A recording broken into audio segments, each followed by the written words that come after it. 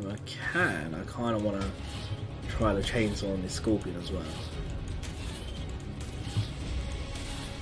They're looking safe.